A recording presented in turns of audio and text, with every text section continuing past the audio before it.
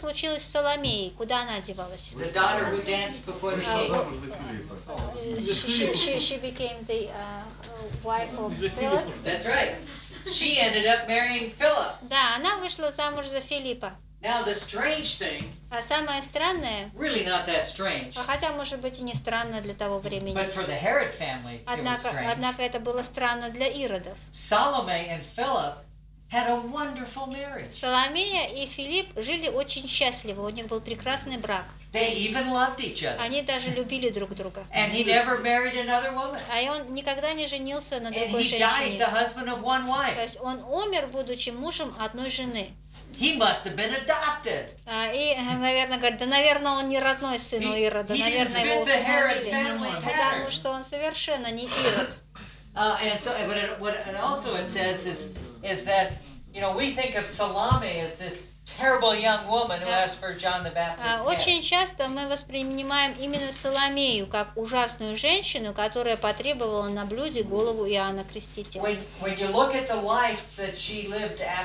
Однако, если посмотреть в истории, как она прожила остаток своей жизни после вот этого события, it's difficult not to conclude а, то нельзя не прийти к выводу, that she was a, an innocent young lady а, что она была невинной, можно сказать, молодой девушкой, who was used by her mother. которая была только орудием в руках своей матери. And in spite of the the bad examples she had in her family as a child, И несмотря на то, что а, очень много негативных примеров она видела в своей жизни, будучи еще ребенком в своей семье, she grew up to be a very wonderful and faithful.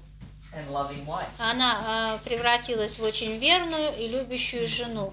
It gives you hope for people who have tough backgrounds. Да, то есть э, в этом тоже есть надежда для людей, у которых прошлое, может быть, было не очень хорошее, что-то они совершили какую-то ошибку.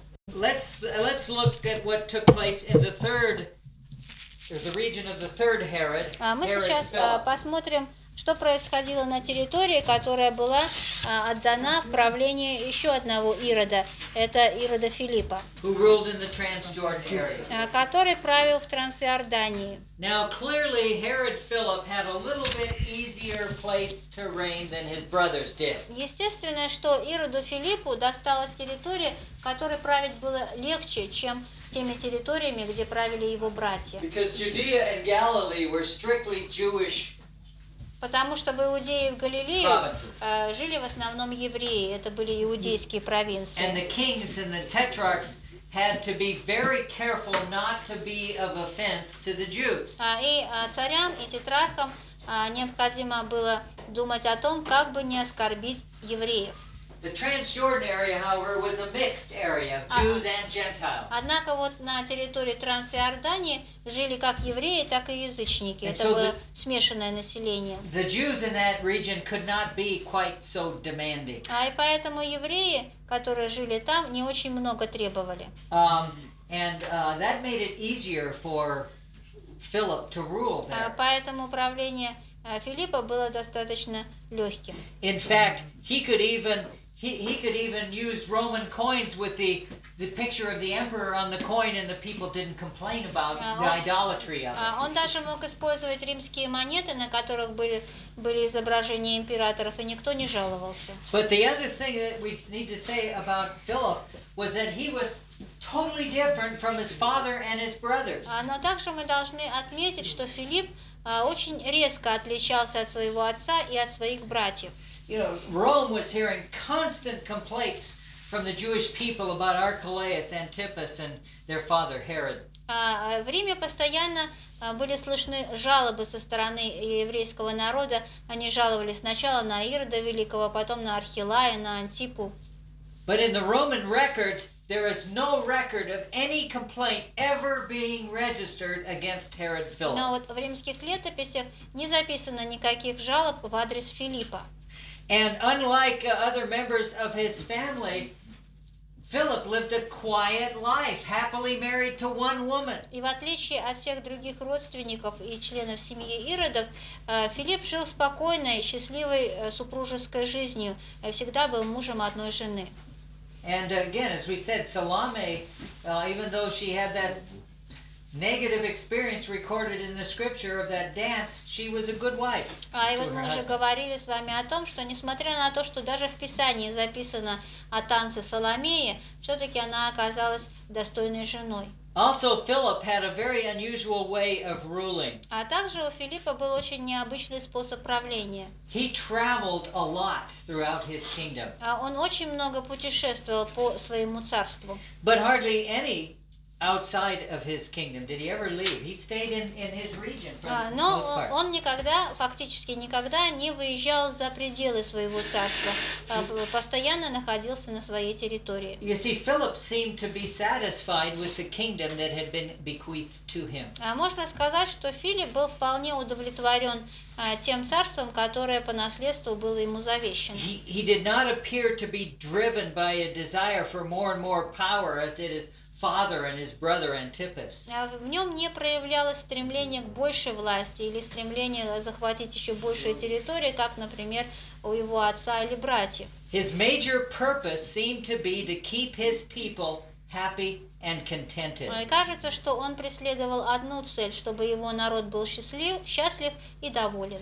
And what he did, uh, he, he when, when problems came, he did not force people to come to his palace А, as his brother а Antipas did. когда возникали проблемы у людей, он не вызывал э, их к себе во дворец, как, например, делал его брат Антипа. And he would take with him А his folding а throne. он свой трон с собой носил. And he would hear that there might be a problem up in Caesarea Philippi. А, например, он слышал, что в Кесарии Филипповой какая-то проблема возникла. So instead of calling the people in Caesarea Philippi to come to his palace, И поэтому вместо того, чтобы вызвать этих людей, у которых возникли проблемы. В свой дворец из Кесарии Филипповой, а он сам отправлялся в Кесарию Филиппову и вместе с собой брал свой складной трон. А потом вот он встречался Like с теми, вот, например, у Романа проблема, да, и вот он. А вот, вот, например, у Романа большая проблема, он не знает, как же закончить ту картину, которую он сейчас рисует. to the person. And А и he вот он take а, his throne, he'd а, свой престол, значит, раскрывает э, разборный, да, садится на него, And he'd sit next to the person. а, садится рядом с этим человеком Tell me your problem. и говорит, расскажи мне о своей проблеме, какая у тебя проблема. Yeah, he tells his problem, and М, То есть и тогда тот человек а, рассказывает о своих проблемах, и естественно, что люди его очень любили за такой подход. He was truly a king И они, его- они считали его настоящим народным царем. Boy raised in Herod's family а come out to be like that? естественно, всем было непонятно, как а, мальчик, который вырос а, в семье Иродов, вдруг стал таким правителем.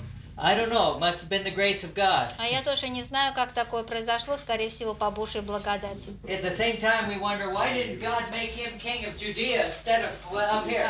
Тогда, естественно, мы задаем себе вопрос, почему же Бог тогда не сделал его царем иудейским, вместо того, чтобы править Трансиорданией. Well, God had his reasons. А у Бога, естественно, есть свои причины и основания. But it is significant that in a day when most rulers were very corrupt, Однако очень важно также заметить, что вот в те дни, когда в основном правители а, были коррумпированы, no charge of bribery or injustice was ever brought against а, him. никто не мог предъявить а, ему то, или обвинить его в том, что он был взятки или поступил несправедливо. And when he died in AD 34, А поэтому, когда он умер а, в 44 34. в 44 году, да, в 304 году нашей эры, the people didn't celebrate, а люди не праздновали but they expressed genuine grief А наоборот, это был день скорби и печали. Well, if there was any area though where Philip was like his father Herod, А если э, Филипп что-то и унаследовал у своего отца, it was it was the uh, uh, in the area of building. так это то, что он тоже любил строить. He uh, took the ancient city of Panias А вот э, древний город э, Панаис, and he and he rebuilt the city он перестроил and he renamed it Caesarea Philippi а, и назвал этот город Кесарией Филипповой. and he made that his capital. А этот город стал столицей. It's interesting that Caesarea Philippi is where Jesus would often go for retreats, for rest. А интересно, что вот этот город Кесария Филиппова как раз то место, куда часто а, уходил Иисус Христос, чтобы отдохнуть. He also built a city near the fish, fishing village of uh, Bethsaida, А также он построил один город недалеко от рыбацкого поселения Вифсаиды. and he named it Bethsaida Julius in honor of Augustus' А, И он назвал этот а, город Вифсаида Юлия в честь дочери Августа. And this was a border city located just across the Jordan River from the city of Capernaum. А это был пограничный город, а, который располагался вот на, на- на- реке Иордан и граничил а, с Капернаумом. Now Capernaum was the was the home of Jesus during his adult life. А вот Капернаум был тем городом, которым, а, который фактически можно было назвать домом Иисуса Христа, когда он уже был взрослым. He grew up as a child in Nazareth, А мы говорим, что он вырос в Назарете, когда был еще but when he was an adult, he apparently lived in, uh, by all indications, he lived in Capernaum. А, Но по всем свидетельствам, во взрослой жизни Иисус Христос жил в Капернауме. Now the territories under Philip's rule were far more peaceful than those assigned to the other brothers. А естественно, что территории, а, на, территориях, которыми управлял Филипп, а, было больше мира, чем а, на тех территориях, которыми управляли его два брата.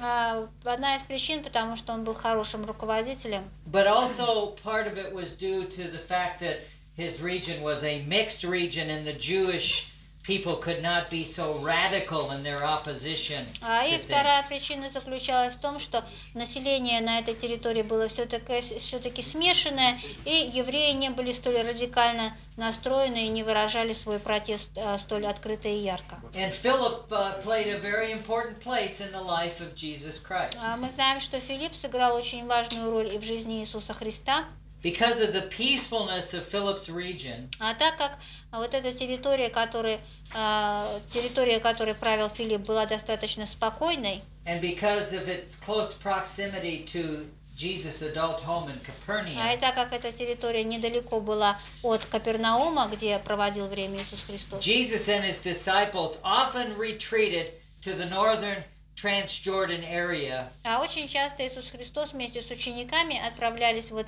в северную Трансиорданию. Uh, for times of rest. А, для того, чтобы отдохнуть, to avoid the tensions of their homeland. а иногда для того, чтобы избежать какого-то напряжения, которое создавалось на родине, and to avoid the pressures and hostility of the Jewish или иногда для того, чтобы избежать давления и враждебного, враждебно настроенных религиозных лидеров. And so when you think about the, the land of uh, Israel during the life of Jesus, А поэтому, когда вы думаете о том, что же происходило на земле а, в Израиле а, во времена жизни Иисуса Христа, don't think of it as a land of peace and tranquility, Не представляйте себе что-то спокойное, мирное, except in that region way up to the north where Philip ruled. за исключением только одной территории, которой правил Филипп. The rest of the area was constant turmoil. Оста- Остальная территория постоянно была в смятении и э, была э, в беспокойстве. The people were on the edge of rebellion А for the entirety of Jesus' life. на протяжении всей жизни Иисуса Христа